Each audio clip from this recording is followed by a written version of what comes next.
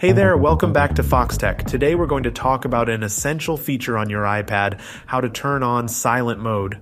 There are a few ways to do it, and I'll walk you through each method and explain everything along the way. First thing you need to do is ensure you have the silence controller in your control center. To check this, open Settings on your iPad and scroll down to find Control Center. There are two sections, included controls and other controls. You want to make sure that silent mode is part of the included controls. If it's not, no worries, just tap on the green plus button next to silent mode to add it. Once you've added it to the control center, you can always access it from anywhere on your iPad. Now, whenever you want to turn on silent mode, just swipe down to access the control center and tap on the silent ring button. It's that simple. Just switch it on and off as needed.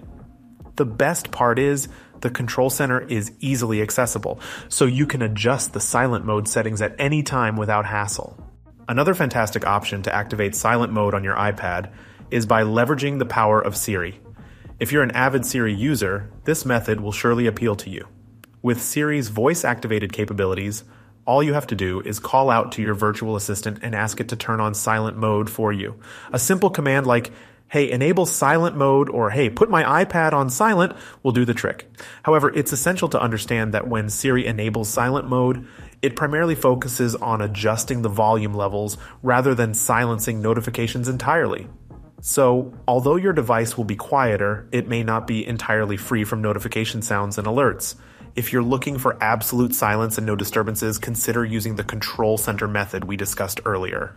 And there you have it. You now know how to turn on silent mode on your iPad using the control center and even with the help of Siri. It's a handy feature that allows you to quickly switch to silent mode whenever you need a bit of peace and quiet. Thank you so much for watching this video. If you found it helpful, don't forget to give it a thumbs up and subscribe to Foxtecc for more tech tips and tutorials. Your support means a lot to us. If you have any questions or suggestions for future videos, feel free to leave them in the comments below. Until next time, Take care and peace.